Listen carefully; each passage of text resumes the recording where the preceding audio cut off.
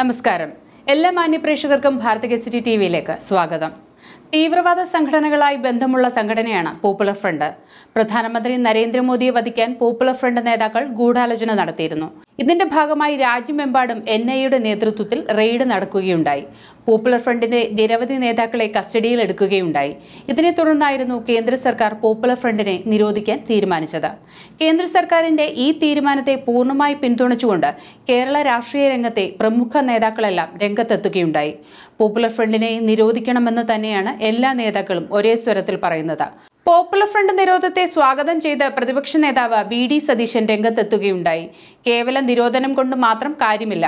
വർഗീയ ശക്തികളെ നിർത്തേണ്ടടുത്ത് നിർത്തണം. പോപ്പുലർ ഫ്രണ്ട് വർഗീയത പടർത്തുന്നുവെന്നും പ്രതിപക്ഷ നേതാവ് വി ഡി സതീശൻ പറഞ്ഞു.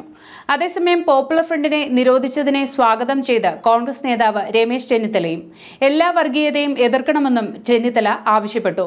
പോപ്പുലർ ഫ്രണ്ട് നിരോധനത്തെ സ്വാഗതം ചെയ്ത് കൊടിക്കുന്നിൽ സുരേഷ് എം പിയും രംഗത്തെത്തി. ഇടതുപക്ഷ നേതാക്കൾക്കും സമാന അഭിപ്രായം തന്നെയാണുള്ളത്. പോപ്പുലർ ഫ്രണ്ടിനെ ഒറ്റപ്പെടുത്തണമെന്നും നിരോധിക്കണമെന്നും തന്നെയാണ് ഇടതുപക്ഷ നേതാക്കളും പറയുന്നത്. അതേസമയം പോപ്പുലർ ഫ്രണ്ട് ഓഫ് ഇന്ത്യയെ നിരോധിച്ച കേന്ദ്ര സർക്കാർ നീക്കത്തെ പിന്തുണച്ച് മുസ്ലിം ലീഗ് രംഗത്തെത്തുകയുണ്ടായി. നിരോധനത്തിനൊപ്പം നിൽക്കുന്നതായി എം കെ മുനീർ പറഞ്ഞു. പുതുതലമുറയെ വഴിതെറ്റിക്കുന്ന ഇത്തരക്കാരെ സമുദായക്കാർ തന്നെ നേരിടണം. വാളെടുക്കണമെന്ന് പറയുന്നവർ ഏത് ഇസ്ലാമിന്റെ ആളുകളാണെന്നും മുനീർ ചോദിച്ചു. അഞ്ചു വർഷത്തേക്കാണ് രാജ്യസുരക്ഷയ്ക്ക് വെല്ലുവിളിയാണെന്ന് ചൂണ്ടി പോപ്പുലർ ഫ്രണ്ട് ഓഫ് ഇന്ത്യയെ കേന്ദ്ര ആഭ്യന്തര മന്ത്രാലയം നിരോധിച്ചത്. പി എഫ് യുടെ എട്ട് അനുബന്ധ സംഘടനകളെയും വിലക്കിയിട്ടുണ്ട്. Rehab India foundation campus front of India all India imams council national confederation of human rights organisation national women's front junior front empower India foundation rehab foundation Kerala എന്നീ അനുബന്ധ സംഘടനകൾക്കാണ് വിലക്ക്. ഐ എസ് ഉൾപ്പെടെയുള്ള ആഗോള തീവ്രവാദ സംഘടനകളുമായി പോപ്പുലർ ഫ്രണ്ടിന് ബന്ധമുണ്ടെന്ന് നിരോധന ഉത്തരവിൽ കേന്ദ്ര സർക്കാർ പറയുന്നു. കേരളത്തിൽ നടന്ന നാല് കൊലപാതകങ്ങളെക്കുറിച്ചും ഉത്തരവിൽ കേന്ദ്ര സർക്കാർ പറയുന്നുണ്ട്. സഞ്ജിത് വധം നന്ദിവധം അഭിമന്യുവധം വിപിൻ വധം എന്നീ കേസുകളാണ് റിപ്പോർട്ടിൽ പറയുന്നത്. ഉത്തർപ്രദേശ് കർണാടക ഗുജറാത്ത് എന്നീ സംസ്ഥാനങ്ങൾ പോപ്പുലർ ഫ്രണ്ടിന്റെ നിരോധനം ആവശ്യപ്പെട്ടതായും ഉത്തരവിലുണ്ട്.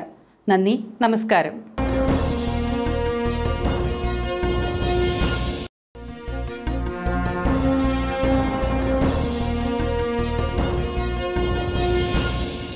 ചാനൽ സബ്സ്ക്രൈബ് ചെയ്യാത്തവർ ഉടൻ തന്നെ സബ്സ്ക്രൈബ് ചെയ്യുക.